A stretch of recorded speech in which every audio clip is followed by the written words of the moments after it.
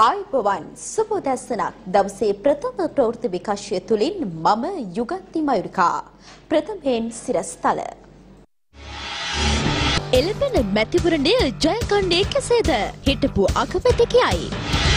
සාකච්ඡා මගින් ගැටලු විසඳන බා ඇමති බන්තුලගෙන් ප්‍රකාශයක්. විශ්ව රූරචන කිරුළ දකුණු අප්‍රිකාවට. අග්‍ර අමාත්‍ය මහින්ද රාජපක්ෂ මහතා ඔස්ට්‍රේලියානු මහ කොමසාරිස්වරයා හමු වුණා. ඒ ඊයේ පෙරවරුවේ අරලියගහ මන්දිරයේදී. අග්‍රාමාත්‍ය මහින්ද රාජපක්ෂ මහතා ඔස්ට්‍රේලියානු මහ කොමසාරිස් ඩේවිඩ් හෝලි මහතා හමු වුණා. ඒ අරලියගහ මන්දිරයේදී. මෙහිදී මහ කොමසාරිස්වරයා සහ අග්‍රාමාත්‍යවරයා සුහද පිළිසඳරක නිරත වුණා. ශේෂ්ත්‍රයන් කිහිපයක් සම්බන්ධයෙන් ඔවුන්ගේ අවධානය යොමුව තිබූ අතර සංචාරක අධ්‍යාපන සහ මිනිස් ජාවාරම සම්බන්ධයෙන් මෙහිදී සාකච්ඡාවට ලක් වුණා. මේ අතර ශ්‍රී ලංකාවේ සිටින නෝවේචියානු තානාපති ටර්නි ජනරලි එස්කෙඩාල් මහත්මිය අග්‍රාමාත්‍ය මහින්ද රාජපක්ෂ මහතා හමු වුණා. මෙහිදී දීපාර්ශික සම්බන්ධතා ශක්තිමත් කර ගැනීම සඳහා තානාපතිවරයා සහ අග්‍රාමාත්‍යවරයා අතර සාකච්ඡා සිදු කළා. එමෙන්ම දීවරංශයේ පවතින දිරට අතර සහයෝගිතාවය සම්බන්ධයෙන්ද මෙහිදී දීර්ඝ වශයෙන් සාකච්ඡාවට ලක් කෙරුණා. ජනාධිපතිවරණයේදී යම් පසුබෑමකට ලක්වද එළඹෙන මහමැතිවරණයේදී මන්ත්‍රී ධූර 113ක් ලබා ගැනීම වෙනුවෙන් සියලු දෙනා කටයුතු කළ යුතු බව හිටපු අග්‍රාමාත්‍ය එක්සත් ජාතික පක්ෂ නායක රනිල් වික්‍රමසිංහ මහතා පවසනවා. ඒ සිරිකොත පක්ෂ මූලස්ථානයේ පැවති මාධ්‍ය හමුවකදී.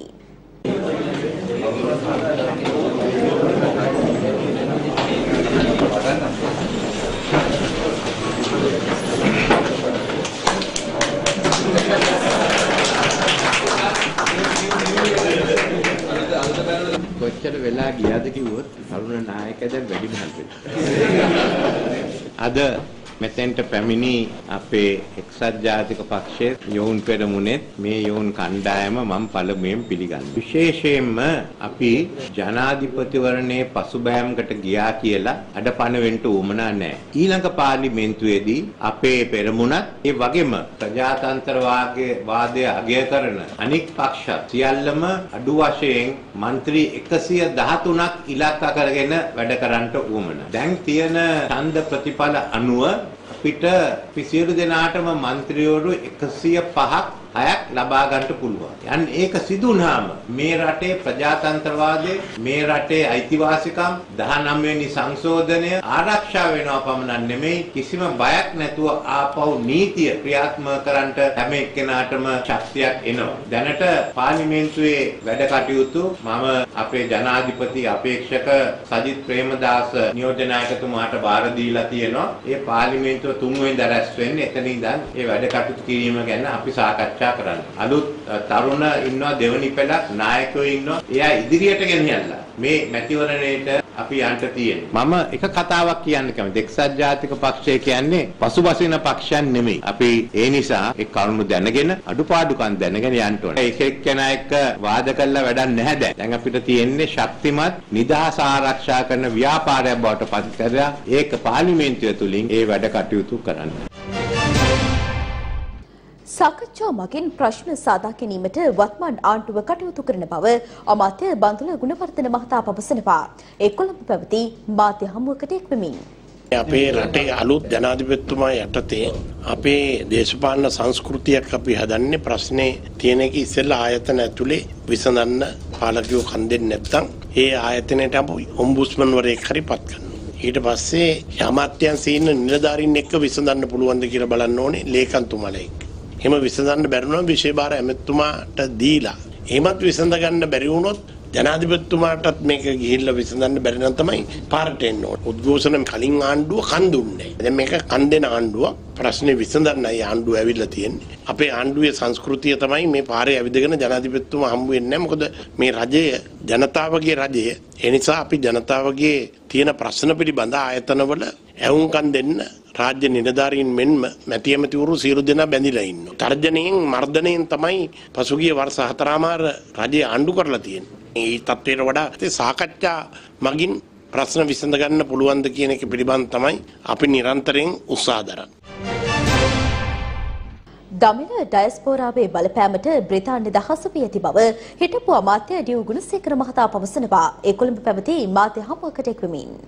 මිත්‍ර සම්බන්ධතාව පළුදු නොවන ආකාරයට තමන්ගේ ප්‍රතිපත්ති සකස් කර ගැනීම අවශ්‍ය බව තේරුම් ගත යුතු කාරණාවක්. එක පැත්තකින් මේවා ඒ ප්‍රශ්නය අපේ රටේ ප්‍රශ්නයක් ඇති කරනවා. එහෙම එහෙම තීරණයකට බැස්සම වෙන්නේ ඒක ප්‍රශ්නය අපට ගේනවා. දැන් තැමිල්නාඩු සාධකත් ඒක එකක් නෑ. අපිට තිබුණ තැමිල්නාඩු තමයි ප්‍රශ්නයක් තිබුණේ. දැන් ඒක එංගලන්තෙත් ප්‍රශ්නයක්, කැනඩාවෙත් ප්‍රශ්නයක්, යුරෝපීය රටවලත් අපේ ඩයස්පොරාව මොකද මිලියන් එකක් අලු ජූලියෙන් ගියා. බෞද්ධ නම් මේ වර්තමාන પરම්පරාව දන්නේ නැහැ. ලක්ෂ 7ක් ගියා ඉන්දියාවට, තව ලක්ෂ 3ක් ගියා යුරෝපයට, ඇමරිකාවට. ඒ ඔක්කොම ඩයස්පොරාව කට්ටිය දැන්. දැන් මේක අපේ නෙමෙයි මුළු ලෝකෙම රටවල් මේ මෙවැනි ජන වර්ග ප්‍රශ්න ඇති වෙලා, යුද්ධ ඇති වෙලා ඇති වෙච්ච රටවල් මුහුණ දෙන ප්‍රශ්න, අතිරේක අලුත් ප්‍රශ්න. තාම නෑ MC මං හිතන්නේ ආණ්ඩුව මේ MCC ගිවිසුම අරගෙන පාර්ලිමේන්තුවට ඉදිරිපත් කරන්න ඕන ජනතාවට දැනගන්න පළවෙනි එක. මට මට ආණ්ඩුව වෙනුවෙන් කතා කරන්න බෑ. මම මේක මං හිතන්නේ පක්ෂ නායකයෙක් රැස්වීමේදී මතු කරන්න මම බලාපොරොත්තු වෙනවා. ඒක ගෑනලා පළවෙනි කාරණාව ඒක පාර්ලිමේන්තුවේ ඉවත් කරන් පස්සේ රට දැනගන්නවා මාධ්‍ය දැනගන්නවා. දැන් අපි තාම දැකලා නැහැ කවුරුත් හිතනවා. එක එක්කෙනා දීපු කොපි අරම වෙන්නවා. MCC කියන එක අලුත් දෙයක් නෙවෙයි. නව නිදාස් රටවල් ගණනාවක මේ ක්‍රියාත්මක වෙනවා. මම දැන් ඒක පිළිබඳ වාර්තා සකස් කර යනවා. අප්‍රිකාවේ රටවල් එක 10 15ක් තියෙනවා මේ ක්‍රියාත්මක වෙන. මේ හැමතැනම ක්‍රියාත්මක වෙච්ච තැන්වල ප්‍රශ්න මතුවලා තිබෙනවා. මේ අධ්‍යයන කරගෙන අවශ්‍යයි. බැලු බැලමට ඒක අහිත කරයි කියලා මම ආණ්ඩුව කළ යුතු හොඳම දේ තමයි මේ ඒ කිවිසුම අරගෙන පාර්ලිමේන්තුවට ඉදිරිපත් කරලා ලේබල් කරලා ඩොකියුමන්ට් එකක් දෙයි මාධ්‍යට දුන්නන් පස්සේ රටේ සාකච්ඡා කරලා එතකොට ඉදිරිපත් කරන ඇමරිකාවට ඇමරිකාව පැත්තෙන් කරුණු ඉදිරිපත් කරනවා බදු අඩු කිරීමට සමකාමීව ජනතාවට ප්‍රතිලාභ නොලැබෙන්නේ නම් ඒ සම්බන්ධයෙන් රජය දැනුවත් කරන ලෙස පාර්ලිමේන්තු මන්ත්‍රී චන්තිම විරක්කොඩි මහතා පවසනවා. ඒ මහතා මේ බව ප්‍රකාශ කළේ උණවටුන ප්‍රදේශයේ පැවති මාධ්‍ය හමුවකට එක්වෙමින්.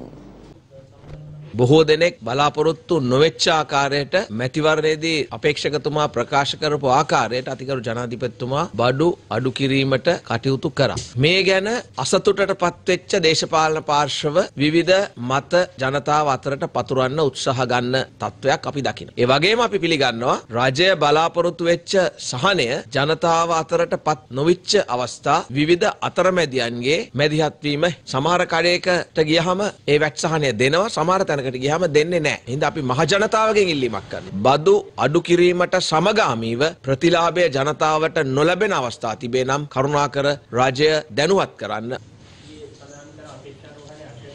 පැහැදිලිවම නීත්‍යානුකූල නොවන ආකාරයට යම් කෙනෙක් කටයුතු කරලා තියෙනවා නම් ඒ අයට එරෙහිව රටේ නීතිය ක්‍රියාත්මක කළ යුතු එක්සත් ජාතික පක්ෂය ක්‍රියා කරපු ආකාරයට නෙමෙයි අපේ රජයන් ක්‍රියාත්මක වෙන්නේ. අඩුම තරමේ පහුගිය ආණ්ඩුවෙන් අපේ ආණ්ඩුවෙන් ආරම්භ කරපු දේවල් ටික අවසන් කරගන්නත් බැරි වුණා. ඉතින් ඒ වගේ ආකාරයට වැඩ කරපු රජයක් වැඩ කරපු ආකාරයට නෙමෙයි අපි වැඩ කරන්නේ බෙහෙත් ටිකයට කඩිනම් විසඳුම් අපි ගාව තියෙනවා ඒ විසඳුම් ලබා දෙනවා කියන එකයි.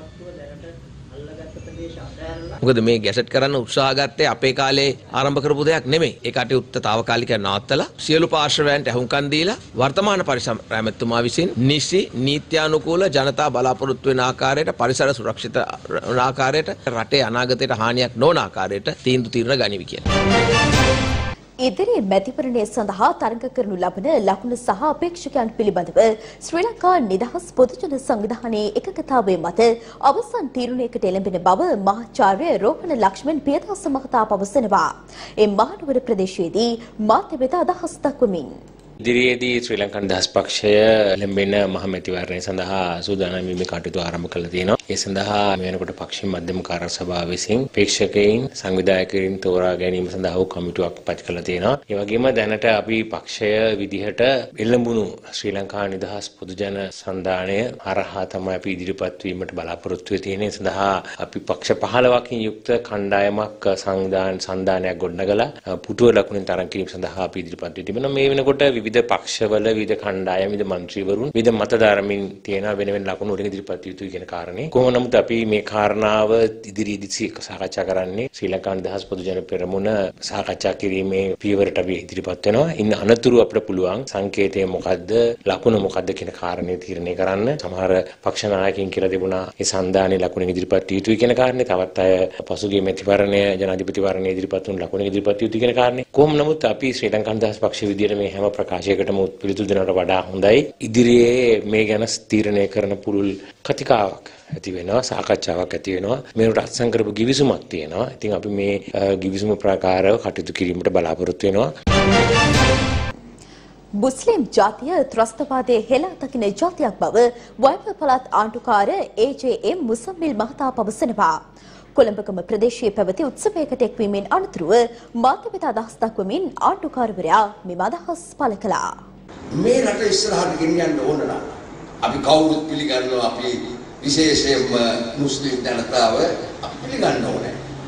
එක්තරා ප්‍රමාණයකට ඒ ඡන්දෙදි ගෝඨාභය රාජපක්ෂ මැතිතුමාගේ ජයග්‍රහණයට ඒ තරම් විශාල කොටස්කරුවෝ නොවුණා. එතුමා කිව්වොත් මාත් එක්ක හැමෝම එක්ක අපිට අවශ්‍ය කරනවා මේ රටේ සියලු ජාතීන් එක්ක. මුස්ලිම් ජනතාවත් බෞද්ධ ජනතාව අතර යම් අවිශ්වාසදායක තත්වයක් ඇති ඇති වෙලා තියෙනවයි කියන එක රහසක්. අපි ඒක නැති කරන්න අපි විශ්වාස කරනවා අපේ ආගම හැටියට අපි ත්‍රස්තවාදී අපි කවදාවත් අපි පිටුදන්න අපි හෙලා දාන්න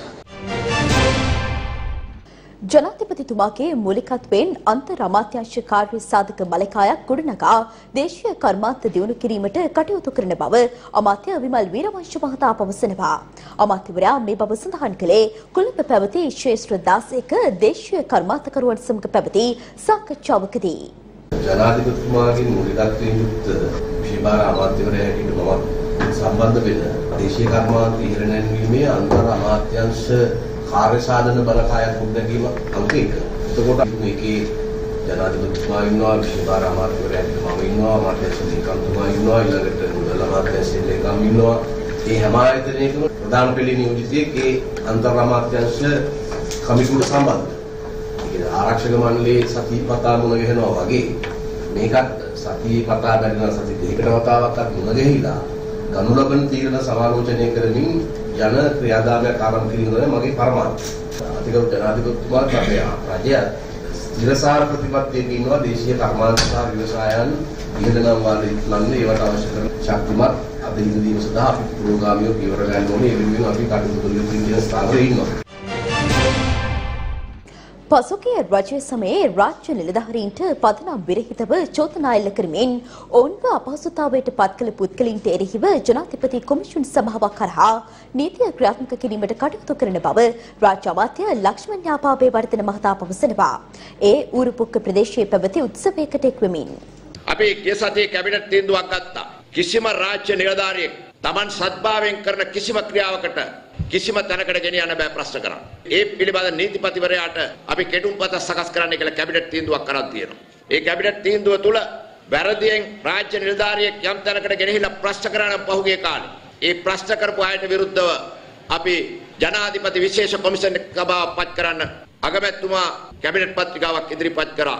ඒ පහුගිය කාල පරිච්ඡේදය ඇතුළත චෝදනා නැති අයට චෝදනා හදලා ඒ අය ගෙනාවන යම් තැනකට ගෙනල්ලා ඒගොල්ලන්ගේ සේවය නතර කරලා තිබුණා නම් ඒ වගේම සේවාවෙන් ඒගොල්ලන්ගේ සිත් වේදනාවක් ඇති කරලා තිබුණා නම් ඔවුන්ගේ ආත්ම ගෞරවයට හානියක් කරලා තිබුණා නම් ඒ පිළිබඳ විශේෂ ජනාධිපති කොමිෂන් එක පරීක්ෂා කළා. එහෙම කරපු අයට දඩුවම් දෙන ක්‍රමවේදයක්. ඒක අමාත්‍යංශික ලේකම් කෙනෙක් මේ ආණ්ඩුව එනකන් රටේ ඉඳලා ඉන්න බැරි වුණා රාජ්‍ය සේවයේ රාජ්‍ය නිලධාරීන් ආරක්ෂා කරන්න ඕන. එහෙම නැතුව ක්‍රියාත්මක කරන්න බෑ. විදෙස් පොතක් වෙතයි දැන් අවධානය.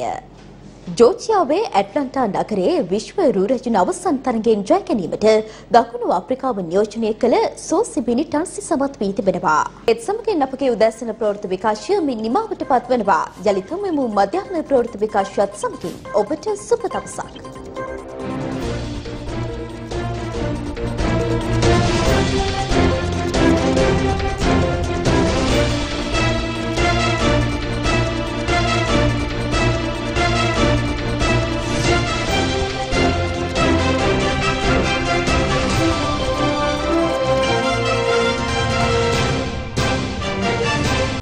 දෙනපතා අලුත් වීඩියෝ සහ ප්‍රවෘත්ති නැරඹීමට ඉහත බටන එක කලික් කර සියත TV සබස්ක්‍රයිබ් කරන්න.